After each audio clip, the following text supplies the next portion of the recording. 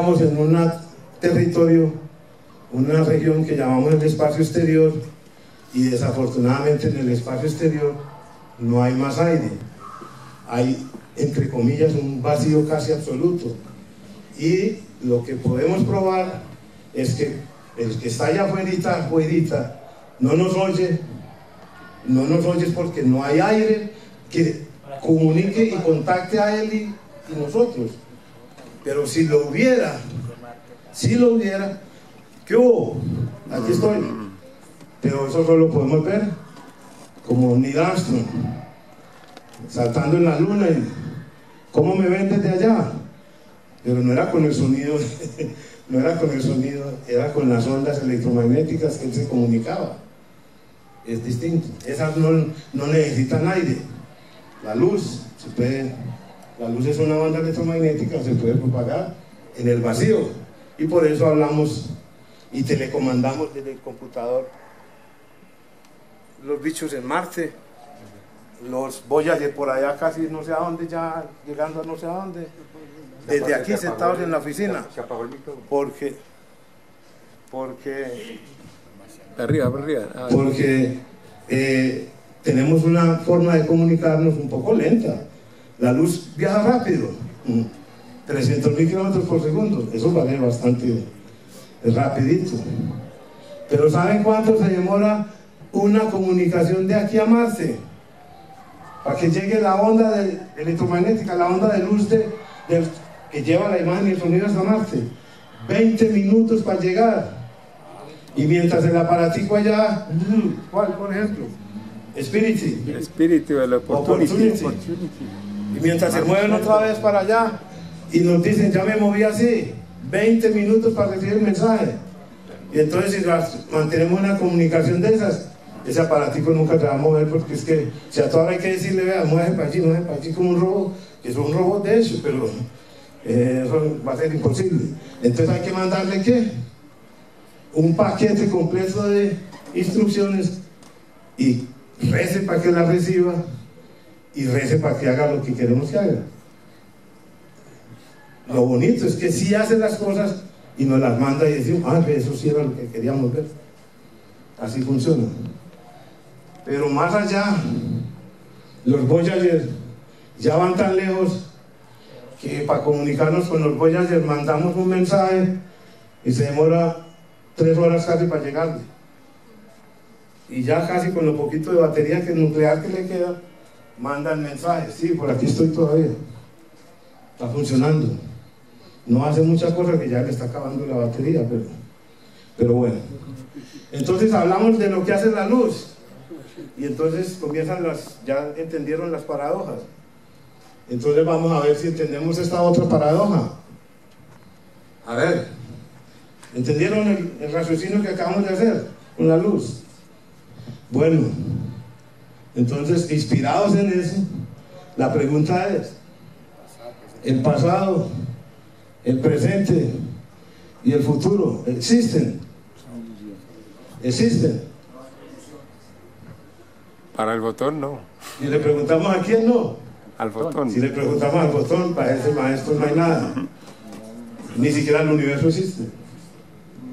Pero para el resto de todos nosotros los mortales, eso es.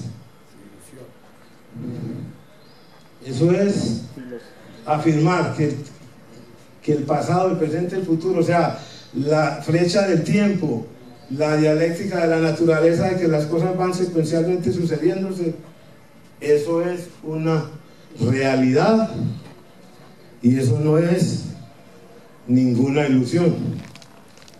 Pero como Einstein hacía sus experimentos mentales, y hablando de la luz fue que él dijo y afirmó que el pasado, ustedes no lo vieron por ahí en ese programa, el tipo que lo representó hizo muy simpática la cosa. Él estaba dando una conferencia parecida a esta sismografía que hay aquí haciendo en este momento. Y a esta les decía al auditorio, el tiempo no existe. ¿Cómo que el tiempo no existe? Pues vea, Pregúntele a la luz. Pero es que pasado, ayer, y mañana, ¿qué? No, no, eso no. Eso es pura ilusión. Pero es pura ilusión solo para una entidad en el universo. Solo para la luz. Solo para la luz. De resto, el resto era es ponerse a filosofar, porque el tiempo existe. Tiene flecha. El pasado fue ayer. Ahora estoy usando carreta aquí, mañana quién sabe dónde. Esas cosas van a suceder, está? Ya no eso es filosofía, eso es realidad. Eso es lo que es.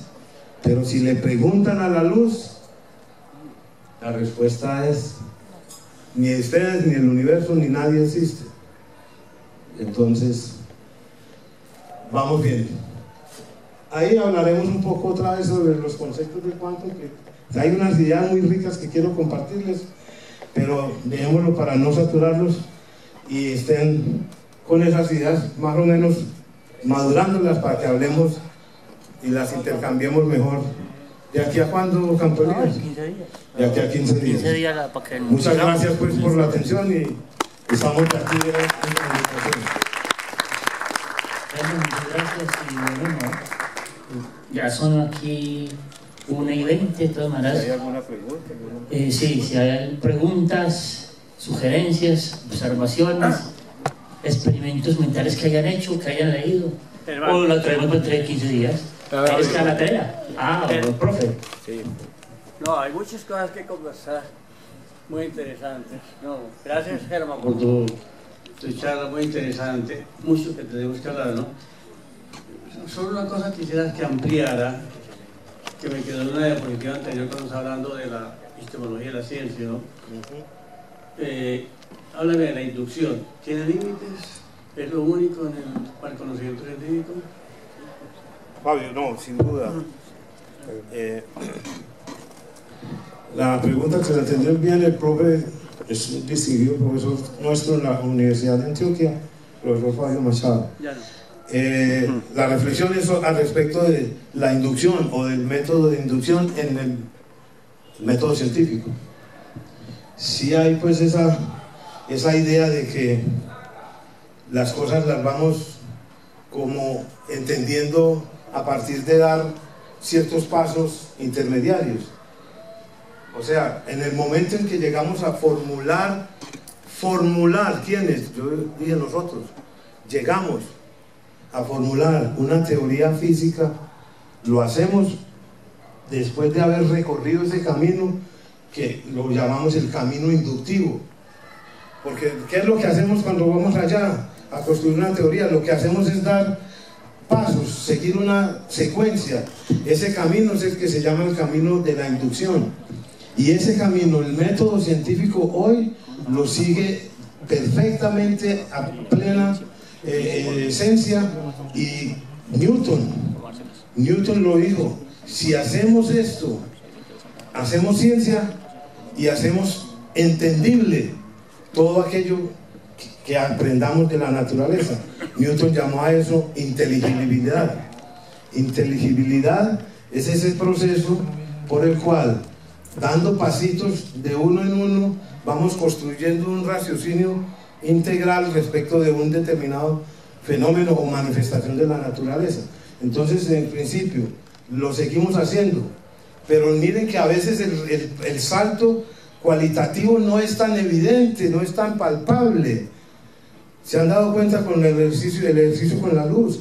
Los pasos comienzan a volverse un poco etéreos, un poco diluidos en el, ¿en dónde? No sé, en la inteligencia humana. Pero somos capaces de, a pesar de esa falta de concretez inmediata, inmediata, a pesar de esa falta de concretez inmediata, somos capaces aún así de consolidar ese raciocinio secuencial, esa inducción que nos conducirá a formular finalmente la teoría. Ese es el proceso y eso sigue siendo, a mi juicio, Fabio, totalmente válido. Adelantándome a lo que es el objetivo central, como les decía hace un rato, llegar a, a- a discutir aquí entre todos la teoría del todo. Esa única idea de, con la cual describir absolutamente todo el universo y todo lo que contiene. Ese es el sueño que queremos. ya estamos bastante avanzados. Ese- por eso quise hacer todo este, este recorrido para irlo llevando paso a paso, para que cuando lleguemos a ese punto culminante hayamos captado qué es lo que ha hecho la, ciencia, qué es lo que ha hecho la humanidad pensante eh, que indaga la naturaleza, que ha hecho en todo ese tiempo. Ese, seguir ese camino inductivo hasta finalmente construir una teoría. Lo que hemos probado es que el camino inductivo funciona tan bien que hemos hecho de una teoría para el, para el magnetismo y una teoría para la electricidad, fuimos capaces de dar un salto cualitativo adicional y construimos una teoría para el electromagnetismo. Eso lo hicimos, lo hizo Faraday hace 200 años casi, y siguiendo ese camino, eh, ahora en el siglo XX, a mediados del siglo XX, fuimos capaces de dar un salto cualitativo adicional. Juntamos la teoría del electromagnetismo y la teoría de las interacciones débiles, que son las que explican por qué cuando uno tiene, por ejemplo, un átomo de uranio por ahí y de repente de la nada sale de adentro alguna cosa. Eso se llaman reacciones espontáneas o desintegración radiactiva y bla, bla, bla. Y hemos, hemos sido capaces de construir una teoría para explicar ese fenómeno. Y después fuimos capaces de juntar esa teoría que explica la desintegración radiactiva para juntarla con el electromagnetismo. Y entonces cre- creamos una teoría más integral de la naturaleza y la hemos explicado. Eso tiene un precio. Y ese precio es que hemos probado que la naturaleza la tenemos que ir viendo a esos niveles cada vez con más, poniéndole más energía al sistema para poderlo entender mejor. Hay que inyectarle más energía. Por eso construimos hoy los aceleradores de partículas y si no podemos construir más grandes, entonces por eso miramos hacia el universo. Por eso miramos hacia el cosmos, que también los tiene por todos lados y más poderosos que los nuestros. Pero el raciocinio, Fabio, sigue siendo ese. Y vamos para allá. Yo los quiero aproximar a que pensemos hacia el final de la otra reunión la idea de la gravitación cuántica. ¿Y qué tiene que ver gravitación cuántica con la teoría electrodébil, que es la que les acabo de resumir, que junta electromagnetismo con interacciones débiles o, o desintegración radiactiva, que son cosas de la naturaleza, y tenemos una teoría para eso. Y queremos juntar eso con más cosas, y ese salto lo hemos hecho. Y el, el punto final, si todo este, este constructo científico es válido y sigue siendo válido a más altas energías, entonces la idea es que en algún momento vamos a fundir la gravedad que ha sido exclusiva, ha sido separatista, ha sido difícil de manipular desde el punto de vista cuántico y meterla en el mundo cuántico. Eso lo queremos probar. La gravedad es un fenómeno macroscópico, es un fenómeno clásico. ¿Por qué? Porque las cosas que nos permite evidenciar la gravedad al principio no parecen eh, hacer lo que hace el mundo cuántico. Por ejemplo, si yo suelto esta botellita, si yo suelto esta botella, ¿para dónde se va la botella? ¿Para la luna? ¿Ah? ¿Para dónde va? Para el suelo. Y si la suelto, tus ojos podrían ver que cae al suelo, paso a paso. Si tuvieras una cámara como la de Juan que hay y le tomas fotos a cada no sé cuántos segun- milisegundos, ¿cuántas instantáneas verías? Verías caer la botella desde aquí hasta el piso, ¿de acuerdo? Eso lo podemos hacer con, con objetos que interactúan gravitacionalmente. Bueno, entonces ahora les voy a preguntar, yo voy a coger, a cambiar la botella por un electrón. Entonces dejemos la botella por aquí y imagínense que tengo un electrón.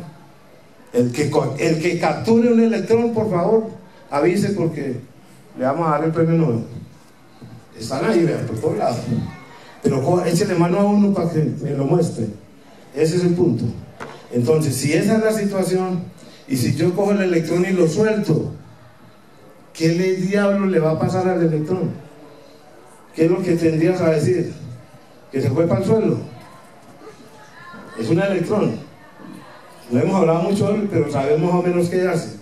Produce la electricidad y hace la luz y bla, bla, bla. Pero si lo cogiera aquí y lo soltase y lo, se le preguntara, ¿para dónde se fue? ¿A dónde, ¿A dónde está el electrón? ¿Cayó al suelo? ¿O se fue para la luna, o para Marte, o para, para el espacio exterior? ¿Cuál es la respuesta cuando yo suelto el electrón? No sé. Ni siquiera sé.